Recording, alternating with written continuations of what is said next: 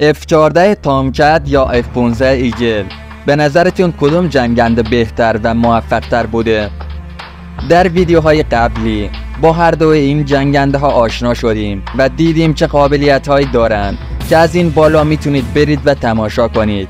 ولی تو این ویدیو می‌خوایم نقاط قوت و ضعف هر دو جنگنده رو از نظر رادار، موشک، مانورپذیری، برد و سرعت مقایسه کنیم. و ببینیم کدومشون بهتره. پس تا آخر ویدیو همراه من باشید. اولین عامل راداره.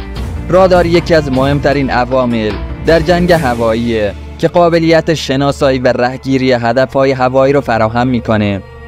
تامکت رادار IWG-9 داره که یکی از قوی ترین رادارهای جنگنده های نیمه سنگین دنیاست. این رادار قابلیت شناسایی و رهگیری هدفهای هوایی در فواصل خیلی دور رو داره برای مثال این رادار می‌تونه 24 هدف رو در فاصله 200 کیلومتر شناسایی و 6 هدف رو در فاصله 160 کیلومتر رهگیری کنه این رادار همچنین قابلیت همکاری با موشک های AIM 54 Phoenix رو داره که می‌تونن هدف های هوایی رو در فاصله 180 کیلومتری نابود کنند. در مقابل F-15 ایگل یک رادار IWG 11 داره که یک رادار پیشرفته و مدرنه این رادار قابلیت شناسایی و رهگیری های هوایی در فواصل نزدیک و متوسط رو داره. برای مثال این رادار می‌تونه ده هدف رو در 100 کیلومتری شناسایی و 4 هدف رو در فاصله 50 کیلومتری رهگیری کنه. این رادار با همکاری با موشک ایم 120 ایم رام می‌تونه هدف های هوایی رو در فاصله 105 کیلومتری نابود کنه.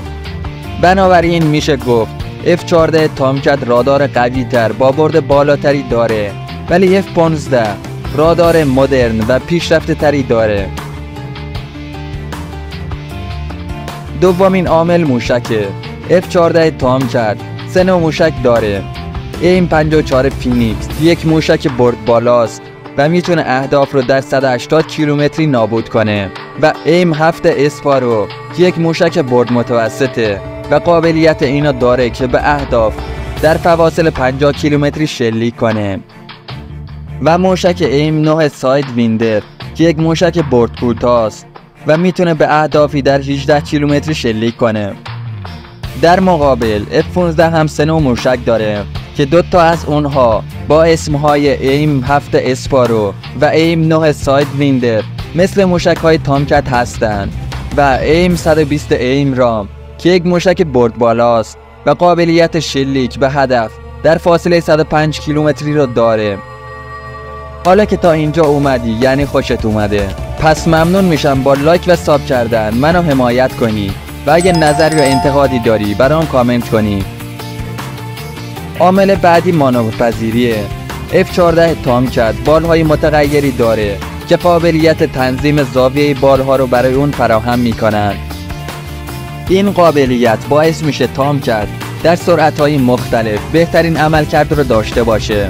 برای مثال در سرعت های پایین با باز کردن بال های خود می‌تونه بیشترین پرتابه رو داشته باشه. و در سرعت های بالا هم با بستن بال ها می‌تونه سرعت بیشتری داشته باشه. در مقابل F-15 ایگل بال های ثابتی داره که طراحی بهینه شدن تا مانورپذیری بیشتری داشته باشن. این جنگنده سیستم کنترل پیشرفته داره که قابلیت انجام حرکات ناگهانی و شتاب زده رو داره. برای مثال F-15 می‌تونه حرکاتی مثل پیچ کبرا، پیچ کولاک و پیچ هرشل رو انجام بده. بنابراین میشه گفت F-15 دارای مانور پذیری و سرعت بیشتریه.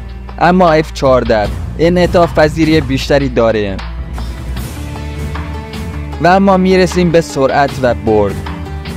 سرعت F14 تامکت دو سی و چار صدام ماخه با برد 2900 کیلومتری. این جنگنده قابلیت پرواز در فواصل دور با سرعت بالا رو داره.